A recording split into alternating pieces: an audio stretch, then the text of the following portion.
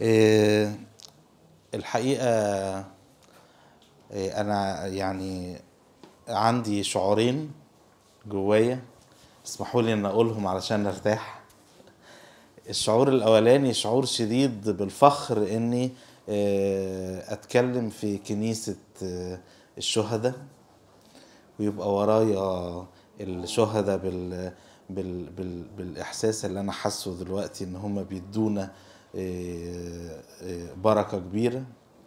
والشعور التاني بقى شعور بال أنا مش عارف أقول إيه وأنا بتكلم في حضرة قدس أبونا مقار. إيه، معلش يا أبونا يعني إيه، سامحني. إيه، هقرأ معاكم من أجل البركة جزء من إيه، رسالة معلمنا بولس الرسول إصحاح 8 عدد 25 رسالة معلمنا بولس الرسول إصحاح 8 عدد معلمنا بولس الرسول إلى أهل روميا آسف. إصحاح 8 عدد 25 يقول من سيفصلنا عن محبة المسيح؟ أشدة أم ضيق؟ أم اضطهاد أم جوع؟ أم عري؟ أم خطر؟ أم سيف؟ كما هو مكتوب أننا من أجلك نمات كل النهار. قد حسبنا مثل غنم للذبح ولكننا في هذه جميعها يعظم انتصارنا بالذي أحبنا ولإلهنا المجد الدائم إلى الأبد. آمين. لأننا من أجلك نمات كل النهار. الحقيقة وأنا بحضر للموضوع ده آه، سيطر على ذهني آه، سؤال كان نفسي ألاقي إجابة عليه. هو إزاي أنا الخادم الغلبان أقدر أقول العبارة دي؟ أقول لربنا لاننا من أجلك نمات كل النهار. الحقيقة العبارة دي برغم صعوبتها إن أنا هأمات كل النهار ورغم الشدة اللي فيها يقول قد حسبنا مثل غنم للذبح لكنها تعتبر الشعار الأساسي لأي خادم عايز يخدم. أي خادم عايز يقدم خدمة حقيقية لربنا لازم يبقى ده شعوره لأننا من أجلك نمات كل النهار. وقبل ما أدخل معاكم في الموضوع عاوز أرجع بأذهانكم مئة سنة ورا. مئة سنة أيام ارشيدياكون رمسيس آه، ارشيدياكون حبيب جرجس مكان بيأسس مدارس الأحد. والتاريخ يقول لنا إنه في مركزين كانوا كبار جدا لمدارس الأحد في القاهرة واحد في الجيزة وواحد في شبرا. ودول كانوا أكبر مركزين لمدارس الأحد. أنا عاوز أحكي لكم يوم مدارس الأحد كان عامل إزاي في آه، مدارس أحد الجيزة. الناس بيخلصوا شغل في الأيام دي يعني ده الكلام ده كان على سنة 35 كده 1935 36 في الحدود دي. كانوا بيخلصوا شغل على الساعة 2 3 بالكتير. كان الخدام يروحوا يا دوبك ياكلوا لقمة يغيروا هدومهم ويجوا الكنيسة في إبرشية الجيزة الساعة أربعة. الكلام اللي أنا بقوله لكم ده من يعني من كتاب اسمه آه، آه، مدارس الأحد في مئة سنة. يجوا الساعة أربعة يعملوا إيه؟ ياخدوا درس كتاب مع بعض يتغذوا بالكتاب المقدس ويقعدوا فترة قاعدين بيناقشوا الكتاب مع بعض. وبعدين يريحوا شوية وياخدوا محاضرة تانية في علوم الكنيسة يعني سواء طقس تاريخ لاهوت. وبعدين ياكلوا أغابي مع بعض. وبعدين يطلعوا أوضة مدارس الأحد اللي في الدور اللي فوق يصلوا التسبحة طول الليل طول الليل.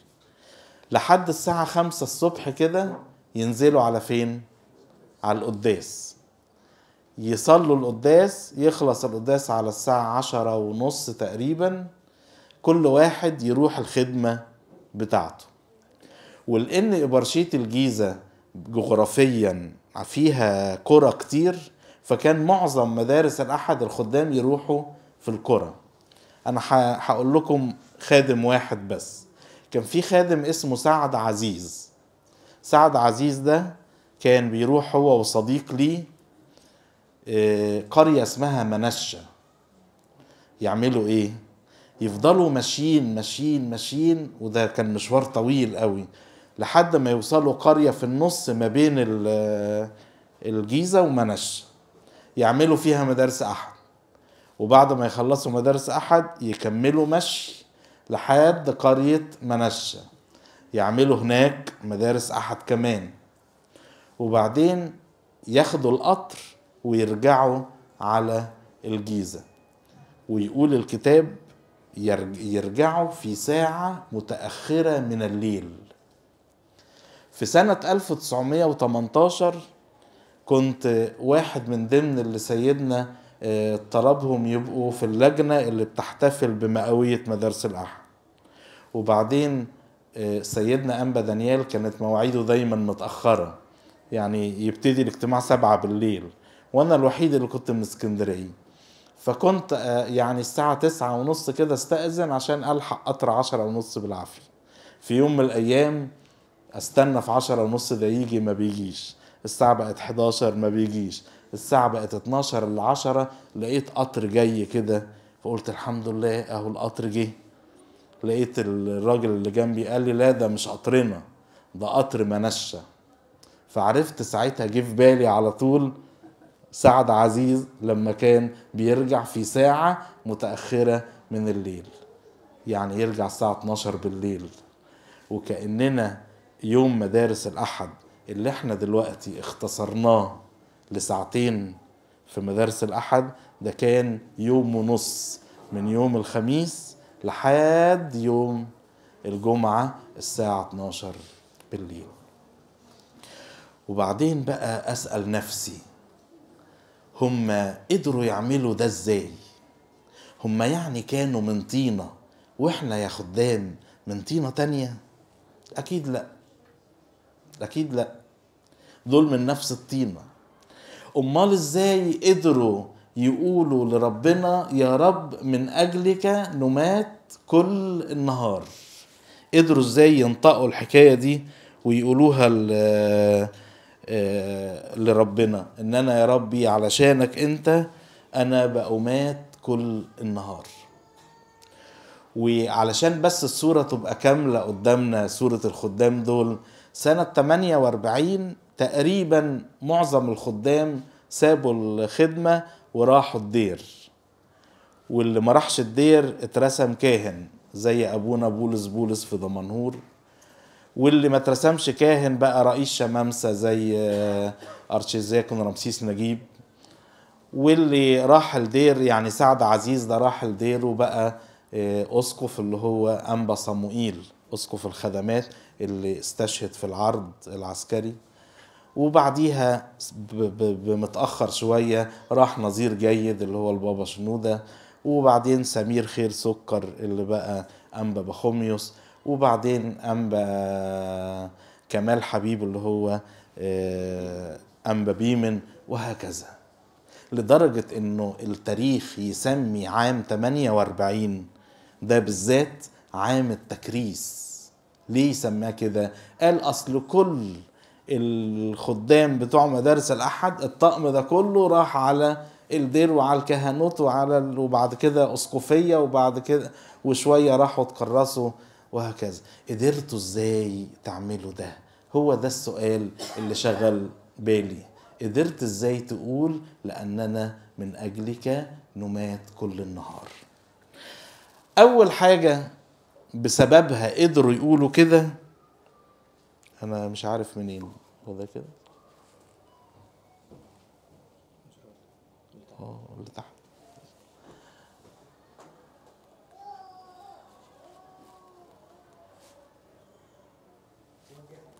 أيوه كده. لو شعرنا بعظمة اللي بنشتغل معاه. مرة يا شباب كنت قاعد مع مع يعني حد من الآباء الكهنة وكان كده يعني في في سكة تكريس كده. وبعدين أبونا ده قال لي عبارة مش قادر أنساها لحد دلوقتي. قال لي تعمل إيه لو المدير بتاعك في الشغل بقى ربنا؟ تتصرف إزاي؟ قلت له دي حاجة جميلة قوي قال لي أهو التكريس كده. المدير بتاعك هو مين؟ هو ربنا. كل ما الخدام يحسوا إن هم شغالين مع ربنا كل ما الدنيا تتسهل قدامهم إن هم يقولوا له يا رب من أجلك نمات كل النهار من أجلك نمات كل النهار. يعني إيه؟ يعني إيه الكلام ده؟ لو تفتكروا الأنبياء زمان كانوا يتسموا رجل الله يعني صموئيل كان يتقال عليه كده رجل الله واتقال على موسى نفس الحكاية. اتقال على أليشع كده رجل الله. وأنا فاكر وإحنا لما كنت كنت بروح خدمة قرية كان يجي ولد صغير أول ما يشوفنا جايين يجري ويقعد يخبط على البيوت يقول لهم الافندي بتاع ربنا وصل الافندي بتاع ربنا وصل. وكنا نقعد نضحك عليه يعني الولد بيقول كده. لكن الحقيقة لما بستعيد ده دلوقتي أقول ده فخر كبير جدا إنه يتقال علينا إحنا كخدام الافندية بتوع مين؟ بتوع ربنا. دي حاجة عظيمة جدا. حتى تيموساوس بولس الرسول يقول له أما أنت يا إنسان الله. أما أنت يا إنسان الله. يعني أنت الراجل بتاع مين؟ بتاع ربنا. طب وحكاية إن أنا الراجل بتاع ربنا دي حلوة؟ أقول لكم فيها أربع حاجات مهمين. أول حاجة ده أعظم امتياز ممكن أنت تاخده. أعظم امتياز.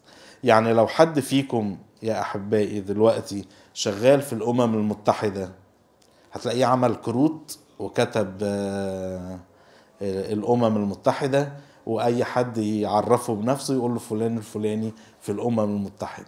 مش كده؟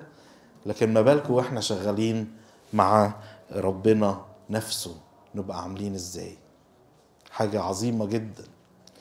الأم تريز اللي كانت بتخدم في كالكتا اللي هي في الهند كتبت صلاة كده كانت بتخلي ال- الراهبات بتوعها آه، يصلوها. كانت بتقول فيها إيه؟ تقول يا رب يسوع يا من تختفي وراء المتعبين كم هي حلوة خدمتك؟ أنت بتختفي وراء المتعبين قد إيه جميلة خدمتك؟ آه أيها المختبئ وراء المتألمين أي امتياز هذا أن تسمح لنا أن نعتني بك. أي امتياز إنك تسمح لنا إن إحنا نعتني بيك. إيه ده هو مش أنتوا بتقدموا الخدمة لل... للغلبانين بتوع كالكتا قالت لأ. ده هو قال إن كل اللي فعلتموه بأحد إخوتي هؤلاء الأصاغر فعملتوه فين؟ بيه. يحكي لنا التاريخ الرهباني عن راهب اسمه أنبأ أغاصن أنبأ أغاصن ده في مرة كان رايح يبيع شغله وبعدين لقى واحد بردان بيتلوى والجو كان آه، ساقعة جدا راح قالع البلطو اللي كان لابسه وملبسهوله. وبعد كده راح باع شغله وخلاص ورجع. فات شهر راح يبيع شغله تاني في السوق. فهو في السوق لقى واحدة زانية لابسة البلطو بتاعه. هو هو البلطو عارفه بنفس النقرة اللي كانت فيه في عند الجيب. هي هي. فرجع ال- القلاية زعلان قوي. قعد يعني يب ي ي كأنه بيبكي يعني علشان خاطر ال- البلطو بتاعه لابساه زانية. قال له يا رب يعني البلطو ده اللي حضر آه، صلوات كتير يبقى آخره في خمارات وبارات. اللي حضر دموعي تبقى اخره الأطياب اللي بتحطها واحدة رقاصة. يعني ما يصحش كده. ومن كتر البكا نام نعس. فهو نايم شاف ربنا يسوع جايله ولابس البلطو. قال له يا أغاصن أنت زعلان ليه؟ مش أنت اديتهوني؟ أنت مالك بقى؟ أنا اديه لمين أنت اديتوني فقام أغاصن فرحان جدا جدا لأنه عرف انه ال- البلطو ده أو العمل اللي عمله مع الفقير هو قدمه لمين؟ لله. يقولوا كان في مرة واحدة ست كتبت مت- متجوزة كتبت على المطبخ بتاعها هنا تؤدى العبادة لله ثلاثة مرات يوميا. تقصد إيه؟ الفطار والغدا والعشاء. إيه ده ليه كده؟ لما قالوا لها ليه كتبتي كده؟ قالت لأن في كل مرة أنا بجهز لولادي أو جوزي الفطار أو الغدا أو أو العشاء أنا بقدم خدمة لله نفسه.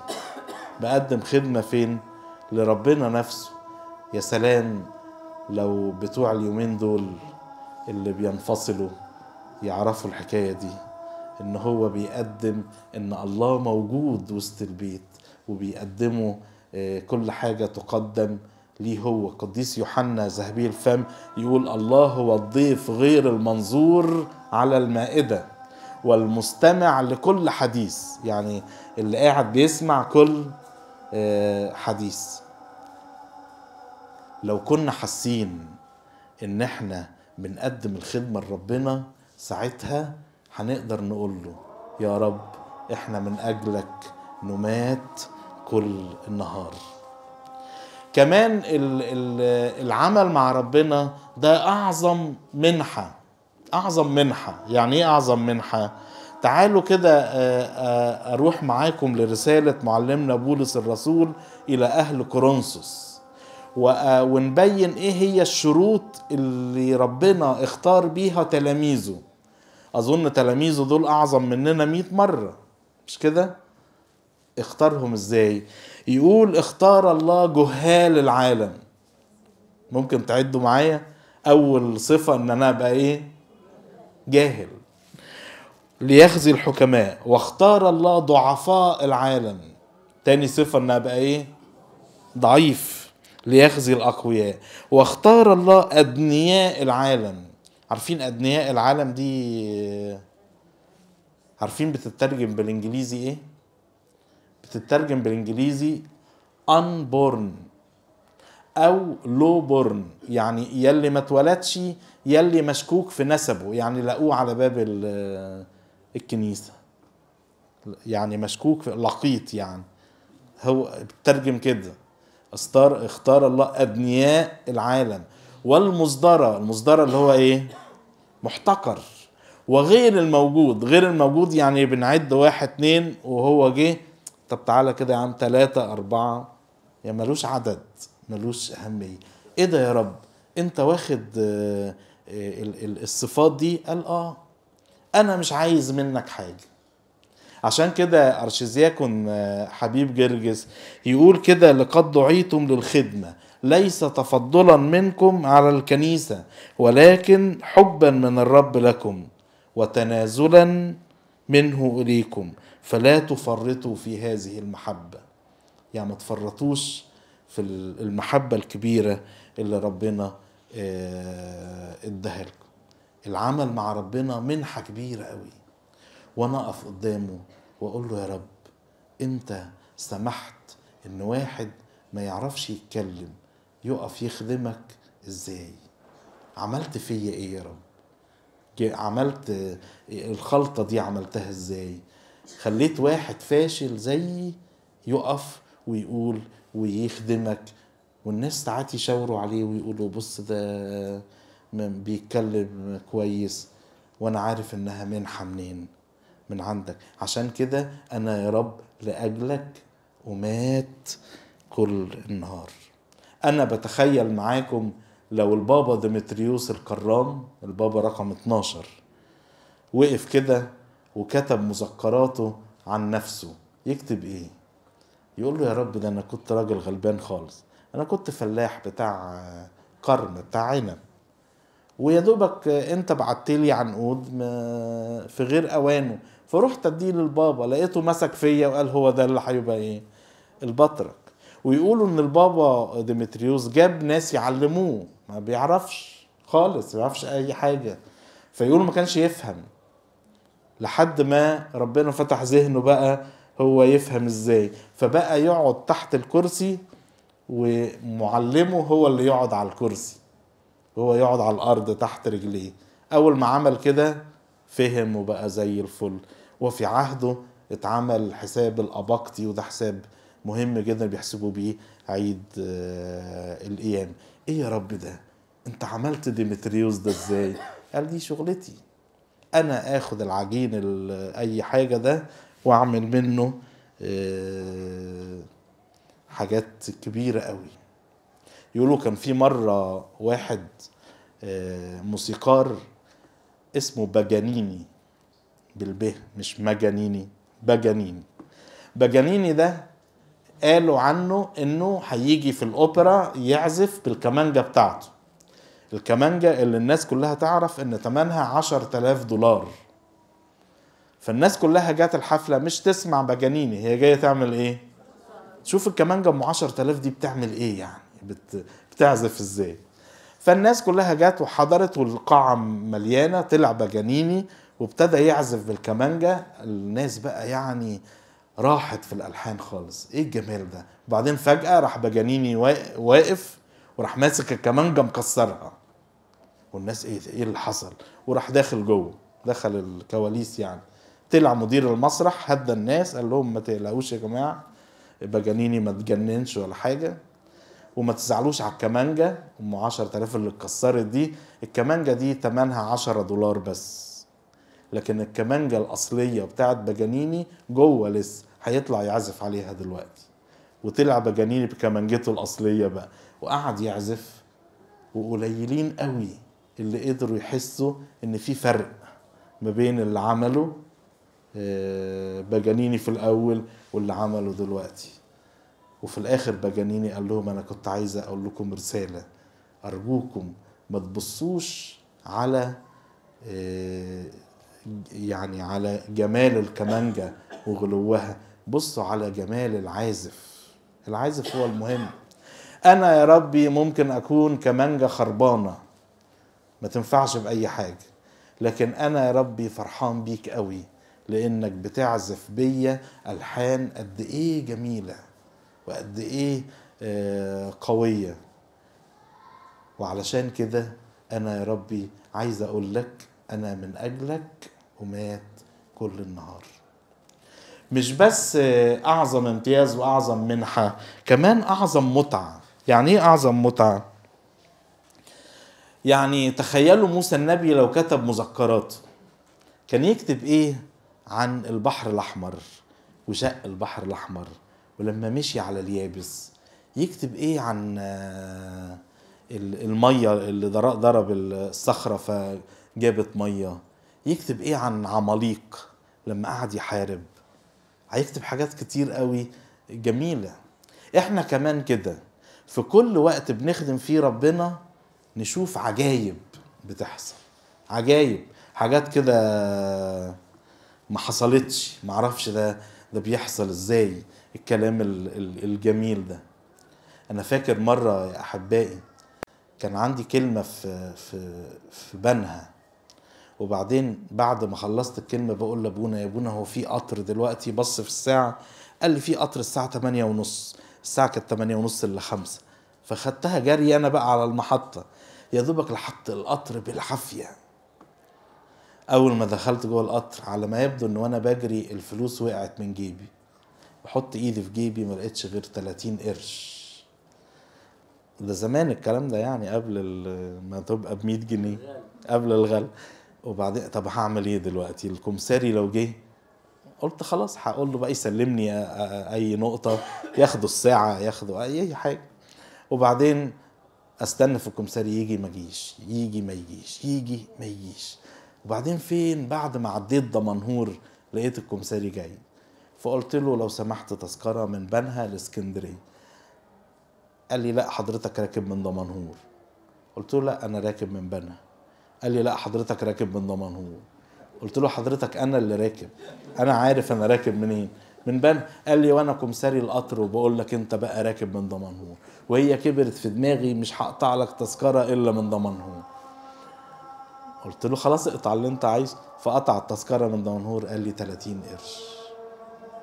هما نفس الفلوس اللي في جيبي بالظبط. ساعتها رفعت عيني للسماء قلت له يا يا رب أنت ما تحبش تفضح ولادك ابدا ابدا. تخليه ماشي آه تمام جدا. فاكر مرة كنا بنعمل مسرح أسود؟ عارفين المسرح الأسود؟ وبعدين آه بعت شاب زميل يعني من الخدمة قلت له روح هات لنا ألوان من المنشية. كان علينا ندفع ثمن الألوان وعلينا ندفع فلوس باقية على المسرح يعني. فقال لي طيب راحي المنشية بعدين لقيته بيتصل بيا قال لي الألوان ب 150 جنيه. قلت له طب ما تجيبها. قال لي ما هو ما فيش في الصندوق بتاعنا غير 150 جنيه بس هتدفع ثمن المسرح منين؟ قلت له يا سيدي هاتها وخلاص وربنا بقى يتصرف راح جاب الألوان وجه لقيت أبونا جاي لي بيقول لي يا أخ فلان خد الظرف ده في واحد عدى على الكنيسة باعت الظرف ده لوسائل الإيضاح. للمسرح الاسود قلت له بعته لنا إحنا مخصوص. قال لي آه ظرف مقفول. ففتحت الظرف لقيت فيه 150 جنيه. هم الثمن اللي علينا في في المسرح. واقول له إيه يا رب العظمة دي؟ إيه الجمال ده؟ يقول أصله العمل مع ربنا أعظم متعة. أعظم متعة.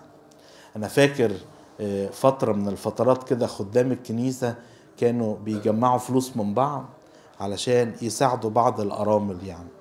فعلشان الأرملة ما تجيش الكنيسة ويعني تحرج كده فكانوا يخلوها تعدي على أي حد فينا في الشغل. تبقى كأنها عميلة يعني معدية. ففي واحدة كانت تعدي عليا أنا. أنا أنا زي حمار العنب. عارفين حمار العنب؟ اللي هو بيشيل العنب وخلاص أنا ماليش دعوة. هم يجمعوا فلوس ويدهاني اديها لها. وبعدين في يوم جات لي وكان في زحمة قوي في في الشغل يعني. فرحت مدخل إيدي في في الفلوس ما حطيتهمش بقى في ظرف ولا حاجة ومدهم لها. وبعدين روحت اليوم ده بحط إيدي في جيبي. في فلوس ناقصة. في في حاجة غلط وقعت مني ولا إيه؟ وخلاص استعوضت ربنا. وبعد كده بعد الشهر اللي بعديه لقيت الست جاية. بتقول لي أنا عايزك تشكر الخدام على اللي عملوه معايا الشهر اللي فات. قلت لها عملوا إيه يا ستي؟ قالت لي أنا كنت جاية وعمال أقول له يا رب أنا ناقصني 200 جنيه ومش معقول هقول للخدام ادوني 200 جنيه كمان. كان عليها قسط يعني. قول له يا رب اتصرف أنت. قوم ربنا راح متصرف والفلوس طلعت منين؟ من جيبي بالغلط واديته لها وقالت لي أشكر لي الخدام إن هم زودوا المرة دي 200 جنيه. وأقول له يا رب أنت قد إيه جميل قد إيه حلو. العمل معاك متعة متجددة طول النهار. آخر حاجة العمل ده أعظم شهوة. يعني إيه أعظم شهوة؟ يعني أح أكتر حاجة تديني دافع إني أشتغل علشانك. أكتر حاجة. يقولوا في القرن أظن ال 11 أظن كده. كان أيام المستنصر بالله. عارفين الخليفة الفاطمي؟ المستنصر بالله. كان عنده وزير مسيحي حلو كده. كان اسمه يوسف ابن الأبح. في تكملة اسم كده وبعدين في الآخر ابن الأبح. وبعدين حد من أعداء النجاح راح وشى بيوسف ده وإيه قال له كلام يعني مش كويس عليه فقرر الملك إنه يقتله. يوسف مش عارف يعمل إيه وصل له الخبر هو في البيت قعد هو ومراته يصلوا قدام أيقونة للقديسه بربارة. قعد يتشفع بيها جامد وبعدين الوشاية دي انكشفت والملك عرف ولغى قرار الإعدام وبعت ليوسف قال له تعالى أنا عايز أصالحك. فراح له. قال له يلا يا عم أنا عرفت الوشاية وعايز أصالحك. تحب آه إيه قول لي وأنا انفذه لك على طول. يوسف ما فكرش. قال له أنا عايز أبني كنيسة. قال له يا عم اطلب حاجة ليك. قال له لا لا أنا مش عايز حاجة أنا عايز أبني كنيسة. قال له خلاص طالما دي يعني شهوتك خلاص. وراح مديله فرمان ببنى كنيسة. يوسف بفرح شديد خد العمال والزطوب والزلط وقعد يبني كنيسة القديس أبو سرجة اللي موجودة في حارة الروم في مصر القديمة وبنى الكنيسة وبقت جميلة قوي. وبعدين العمال قالوا له ده لسه في طوب وزلط كتير انت كنت جايب بزيادة قوي. فقال لهم طب خلاص ابنوا كنيسة تانية جنبها للقديسة بربارة اللي أنا كنت يعني بتشفع بيه بنوا القديسة بربارة وبقوا عروستين جنب بعض كده. أعداء النجاح حسوا بالحكاية راحوا بسرعة لمين؟ للمستنصر بالله. قالوا له الحق انت اديته فرمان يبني كنيسة بنى كام؟ كنيستين. فراح جايبه قال له بص أنا قلت لك تبني كنيسة واحدة. روح هد الكنيسة التانية. قال له يا مولاي قال له بقول لك ده أمر. تروح تهد الكنيسة التانية. وراح يوسف ابن الابح ده ومعاه العمال بتوع الخليفة وقف بين الكنيستين ومش عارف يهد مين. أهد سرجيوس؟ لا لا ده يزعل مني. والإيد اللي بنت دي تعرف تهد. طب أروح أهد القديسة بربره إزاي بعد اللي عملته معايا ده؟ قعد رايح جاي رايح جاي وكان يوم صيام كان صايم يعني والشمس جامدة جدا. فحس إنه خلاص بقى روحه بتروح محتاج كوباية مي. فقال لهم لو سمحتوا هاتوا لي كوباية مي. وكان واقف في الممر اللي بين الكنيستين. راحوا يجيبوا له كوباية مية لقوه مات في المكان اللي هو فيه.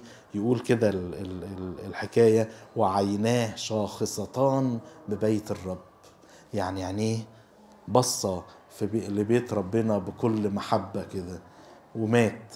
ولما مات الخليفة إكراما ليه ساب الكنيستين موجودين. إيه يا رب ده؟ قال أصل العمل مع ربنا؟ أعظم شهوة. أعظم شهوة ممكن إنسان تكون عند إنسان في حياته. العمل مع ربنا اللي بيشتغل مع ربنا يقدر يقول بسهولة جدا أنا يا ربي من أجلك ومات كل الإيه؟ كل النهار. من أجلك ومات كل النهار. نمرة اتنين.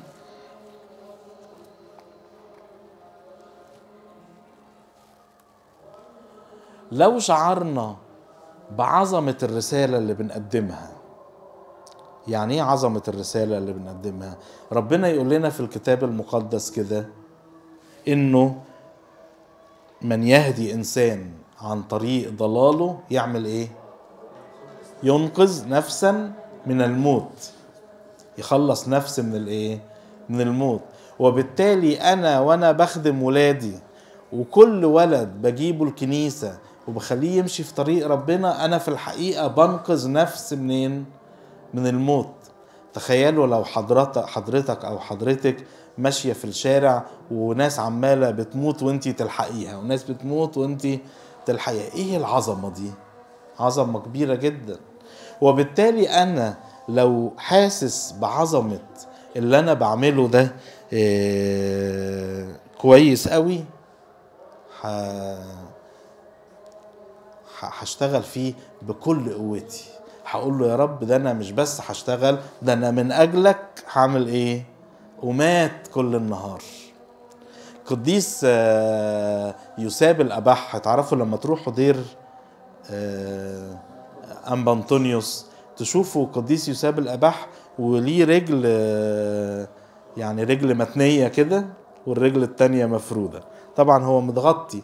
بس باينه خالص يعني الرجل المتنية دي والرجل المفرود يقولوا إن هو كان بيقعد يصلي كتير يوعظ كتير قوي لحد ما يتعب خالص خالص. القديس يوحنا ذهبي الفم يقولوا في أواخر حياته كانوا بياخدوه يشيلوه كده عشان يقف في الكنيسة يوعظ. ففي عظة من العظات بتاعته قال للناس كده وعظي لكم يحسن صحتي. يعني الوعظ اللي بقوله لكم بيخلي صحتي تبقى إيه؟ تبقى أحسن. ليه كده؟ هو حس بقيمة الكلام اللي بيقوله. حس بقيمة ده. يحكوا إنه أيام الثورة الروسية سنة 1917 أو 27 الثورة الشيوعية في روسيا انه الشيوعيين قاموا على كل الضباط وقالوا إحنا هنموتهم اللي تبع قيصر يعني قالوا إحنا هنموتهم ونقوم بالثورة زي ما عملوا في 2011 كده عندنا يعني. وبعدين واحد من الضباط يا عيني قبضوا عليه وموتوه وقالوا لازم نموت عيلته كمان. فخدوا بعضهم وراحوا على البيت بتاعه علشان يموتوا عيلته. عيلته دي كانت مراته وثلاث ولاد صغيرين خالص يعني أكبر ولد سبع سنين كده ولا حاجة. ف الست خايفة هي عارفة إن ال- الظباط جايين. فلقت الباب بيخبط. فمش عارفة تعمل إيه. فلقت الباب بيخبط وصوت ستاتي يعني نسائي بيقول لها افتحي أنا ناتالي جارتك اللي جنبك. فراحت فتحت لها دخلت ناتالي وقفلت الباب وقالت لها خلي بالك الظباط جايين يموتوكي دلوقتي. قالت لها ما أنا عارفة ومش عارفة أعمل إيه. قالت لها تهربي دلوقتي حالا. قالت لها أنا معايا ثلاث أطفال لو هربت بأي سرعة هيجيبوني. كده كده. قالت لها لا ما هم مش هيدوروا عليكي. مش هيدوروا عليا ليه يعني؟ قالت لها عشان هيفكروا إن هم موتوكي. لهم موتوني إزاي؟ قالت لها عشان أنا هقعد مكانك وأبين إن أنا هو مرات الضابط. ولما يموتوني يفتكروا إن هم موتوا إيه؟ مرات الضابط. والست قالت لها إيه ده؟ هتموتي نفسك علشاني؟ قالت لها وايه يعني؟ أنا أعرف إله موت نفسه علشاني. قالت لها مش ممكن ده حاجة ما ما تعقلش يعني. قالت لها لا ولا إيه، تاخدي بالك من الحكاية دي. بس امشي واهربي بسرعة. ومشت الست دي وهربت وجم الظباط دخلوا البيت لقوا ناتالي عملوا فيها إيه؟ موتوها. أنا معرفش الست حصل لها إيه بس أنا متأكد إن الست دي بقت مسيحية من أجل الفداء العظيم اللي عملته ناتالي. في كل مرة بنقدم خدمة لاولادنا إحنا بننقذ نفسا من الموت. بننقذ نفس آه، من الموت. كان في مرة واحدة والواحدة دي آه، اتجوزت وهي صغيرة بغصب عنها يعني. وبعدين جابت ولد من جوزها وبعدين جوزها مات. مات وهي حاجة وعشرين سنة. صغيرة خالص. فقالوا لها في البيت آه، يعني اتجوزي. في عرسان كتير وهي كانت جميلة جدا. قالت لهم لا أنا ح... يعني نذرت نفسي لابني ده أربيه وفضلت فعلا تربي هذا الطفل لحد ما كبر وبقى حد عظيم جدا. والست دي واحد من الكتاب ال- الوثنيين كتب عنها مرة مقال اسمه يا للنساء المسيحيات. إيه ده يعني؟ أنا مش عارف الجمال ده جايبينه منين. ومحدش يعرف الست دي خالص. أنا أظن إن في كتير منكم ما يعرفوهاش لكن كلنا نعرف ابنها يوحنا ذهبي الفم. هي الست اسمها أنسوسة وأنسوسة دي بذلت نفسها عشان خاطر مين؟ عشان خاطر ابنها. وكأنها بتقول لربنا يا رب أنا عارفة اللي بعمله ده إنه شيء عظيم وبالتالي يا رب أنا مستعدة أموت علشان خاطر علشان من أجلك إنه مات كل النهار. نمرة ثلاثة آخر نقطة في في الموضوع ده. إذ لو شعرنا بالمجد اللي مستنينا كخدام. فاكرين الآية اللي بتقول من يخدمني حيثما أكون أنا هناك يكون خادمي. ومن يخدمني يكرمه الآب. من يخدمني يكرمه الآب.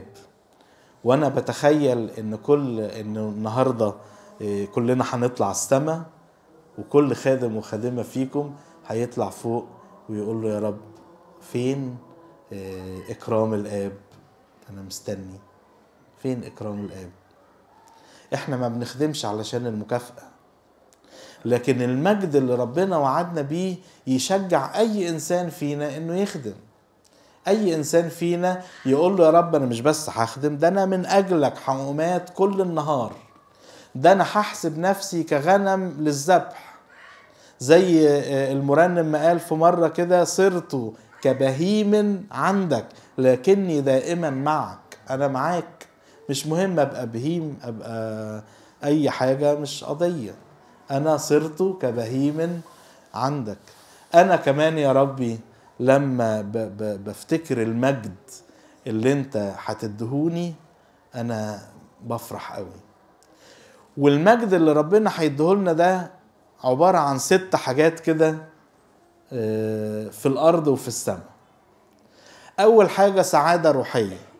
جربوا تخدموا كده وانتوا راجعين من الخدمة تحسوا بسعادة غير عادية يعني.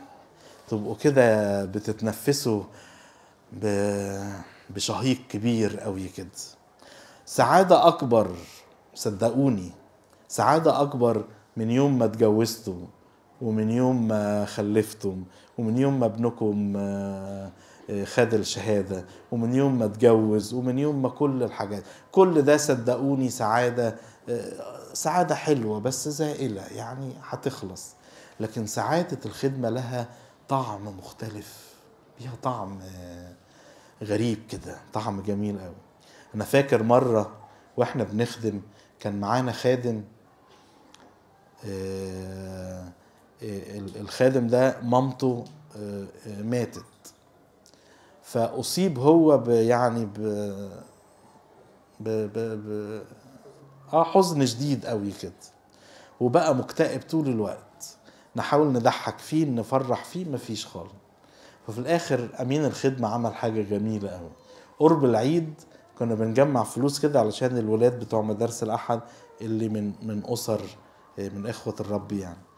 فراح جمع كام ولد وجاب الخادم ده قال له يا أستاذ فلان روح اشتري لهم الهدوم بنفسك وقيسها لهم بنفسك و... وتعالى قال له حاضر. راح خد ال... الولاد قعد يعيسهم الهدوم والولاد يبقوا فرحانين ومزقططين بقى علشان اللبس بتاع العيد و... ورجع الخادم ده في منتهى الفرح. قلنا له إيه يا عم؟ كفارة أنت مالك؟ كنت مغلبنا علشان تفرح. إيه اللي حصل؟ قال لو شفتوا ال- الفرحة اللي في عينين الولاد دي فرحة ما تقدرش بتمن. إحنا بناخد سعادة روحية. حاجة كمان بناخدها اسمها مكافأة أرضية. يعني إيه مكافأة أرضية؟ يعني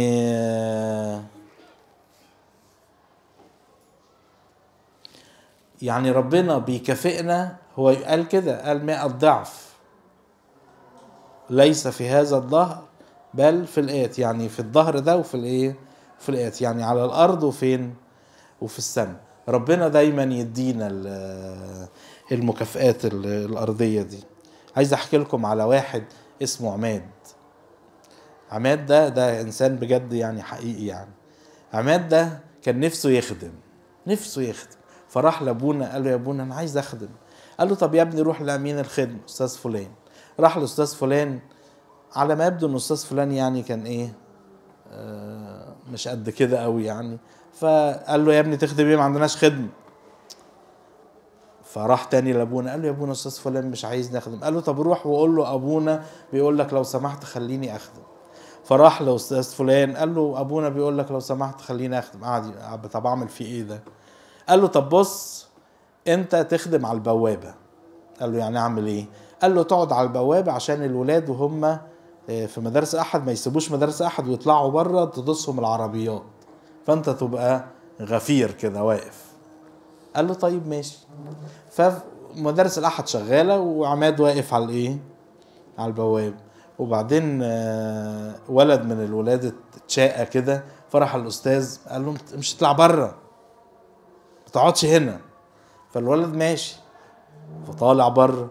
فعماد شافه قال له رايح فين يا حبيبي؟ قال له أنا طردت من مدارس الأحد. قال له أنتوا كنتوا بتاخدوا درس إيه؟ قال له إبراهيم. قال له يا دي سهلة خالص اقعد بس وأنا أحكيها لك. قعد يحكي له حكاية إبراهيم. وعلى ما يبدو إن عماد ده كان بيشرح أحسن من الخدام كلهم. فالواد عجبته قوي الحكاية. تاني أسبوع راح متشاقى امشي اطلع بره. حاضر. وراح رايح. قال له لوط يا أستاذ اتفضل. تالت آه، أسبوع. فالولاد بقى قالوا لا بقى في إيه؟ أنت بتطرد كل مرة ليه يعني؟ قال لهم ده في بره أستاذ بيشرح أحلى من الأساتذة دي كلهم. بقى له عيال كلهم إيه؟ يتشاقوا ويطلعوا بره و... ويروحوا الاستاذ يلا يا أستاذ رعوز إن شاء الله أتفضل. فالخدام حسوا بالحكاية دي راحوا راحوا لأمين الخدمة قالوا له ما ينفعش راح جاي طارد العماد ده ومشيه من الكنيسة خالص. وعماد وهو ماشي زعلان قوي إنه ساب الخدمة. فيقولوا إنه ما خدش باله في كلب سعران راح عضه وبعد فترة قليلة أصيب بسعار ومات. طب وأنت يا ربي إيه يعني؟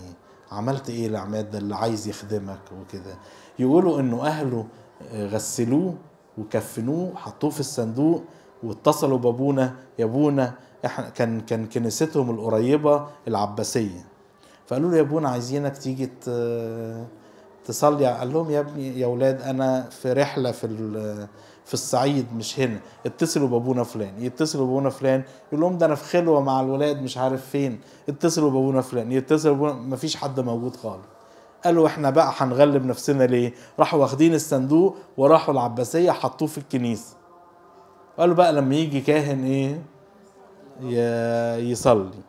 فالفراش بتاع الكنيسة لقى الصندوق داخل قال يا نهار أبيض ده سيدنا الأنبا فلان اللي كان تعبان يظهر تنيح وراح متصل بكل بقى الآباء الاساقفه الحقوا ده سيدنا اتنيح سيدنا اتنيح.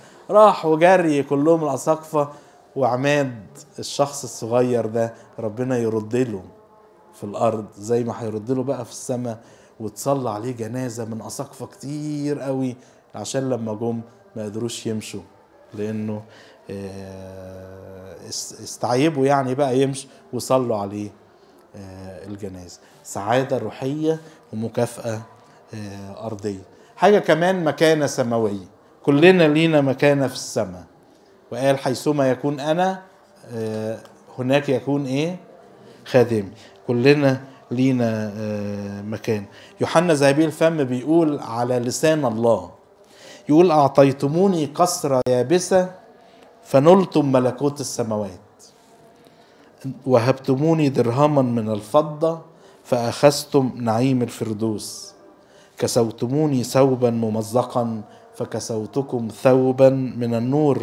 سقيتموني كأس ماء بارد فرويتكم من ماء الحياة والراحة أعطيتموني عطايا زائلة ففزتم بأمور باقية لا تضمحل. ربنا يقول لنا كده أنت تعبت علشاني شوية صغيرين أنا أديك مكان مكانها كتير خالص. حاجة كمان رحمة قلبية. يعني ناخد رحمة. يعني قلبنا ده يبقى رحيم. يقدر يحس بالناس. يحس بال بتعبهم. مرة القديس أنبا بيمن وأنبا بيمن ده يقولوا عليه في الرهبنة الأب الرؤوف. يعني الحنين يعني. فمرة جولوا الرهبان قالوا له بص بقى انت تشوف لك حل مع الإخوة طالبين الرهبنة دول. قال لهم مالهم بس؟ قالوا له ده بيقعدوا في الكني في التسبيحة يقعدوا ويناموا ويشخروا كمان. قال لهم يا نهار أبيض بجد؟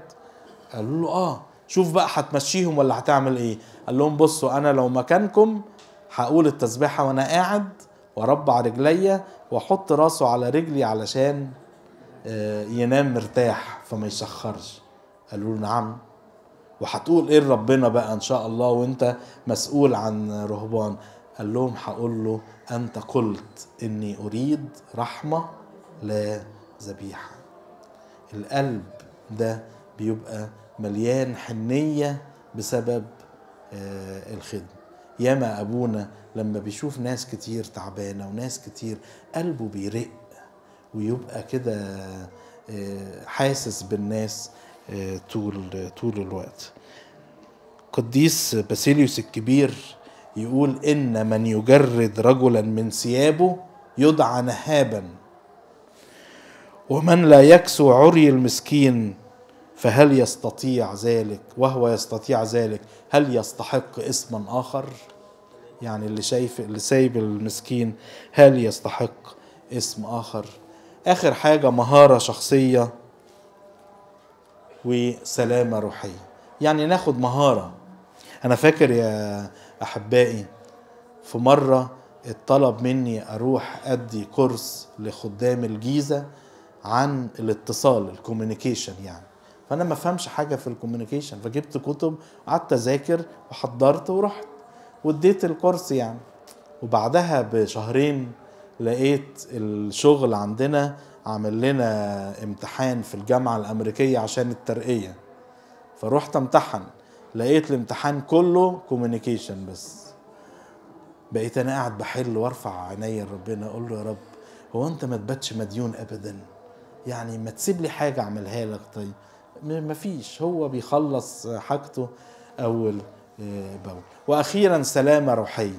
يعني الخدمة دي هي الوقت واللي بي آه، بيفضل رابط بيننا وبين الكنيسة دايما. أقول لكم موقف أنهي بيه محاضرة النهارده. كان في مرة عندي كلمة في برج العرب وكان في نفس اليوم عندي في الكليريكية آه، امتحان بالليل امتحان تاريخ. فخلصت الكلمة مش هلحق بقى أروح. فقلت أقعد في حتة علشان أذاكر التاريخ كده بسرعة أقرأه يعني قبل ما أخش الامتحان. طب أروح فين؟ أنا لو رحت المرقسية هقابل بقى زمايلي ونقعد نحكي وراح اليوم. فدماغي كده هدتني إني أقعد على القهوة بتاعه آه، النبي دانيال.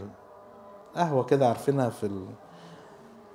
فقعدت على القهوة وطلبت فنجان قهوة علشان آه، يعني دماغي وقعدت أقرأ في التاريخ. لقيت ولد من ولادي في الخدمة جاي ومعاه باباه معديين في الشارع. فالولد نقرني. قال له بابا بابا أستاذ اسامه اهو. فالراجل بص لي بصه مش قادر انساها لحد دلوقتي يعني. بصه احتقار كده هو ده الخادم بتاعك اللي قاعد على القهوة؟ هو ما يعرفش أنا بذاكر تاريخ ولا عندي امتحان ولا أي حاجة من دول. ومن يوميها بطلت قعدت بالقهوة دي تاني لأن الناس ما ما تعرفش إيه اللي حصل. الخدمة عملت سلامة روحية لينا. بقت تخليني آخد بالي من حاجات ربما أنا ما كنتش واخد بالي بيها. لو حسينا بإن إحنا بنعمل مع ربنا وإن ربنا آه، هو اللي بيشتغل وهو اللي بيدينا الخدمة منحة من عنده هو اللي بيدينا الخدمة آه، علشان نتمتع بيها هنفضل نقول له دايما من أجلك نمات كل النهار. لو حسينا بقيمة الرسالة اللي بنقدمها هنفضل نقول له يا رب انت مدينا رسالة آه، قوية قوي قوي وإحنا ما نستحقهاش. لكن علشان كده أنا من أجلك يا رب هقومات كل النهار. لو حسينا بال- بالمكافأة الأرضية والسماوية اللي ربنا بيعدها لنا رغم إن إحنا ما بنعملش حاجة هو اللي بيعمل كل حاجة وفي الآخر يشاور علينا ويقول لنا بصوا فلان عمل إيه؟ بصوا آه، هقول له يا رب أنت عظيم قوي. أنا من أجلك ومات كل النهار لإلهنا المجد الدائم إلى الأبد آمين. أظن في آه، راحة.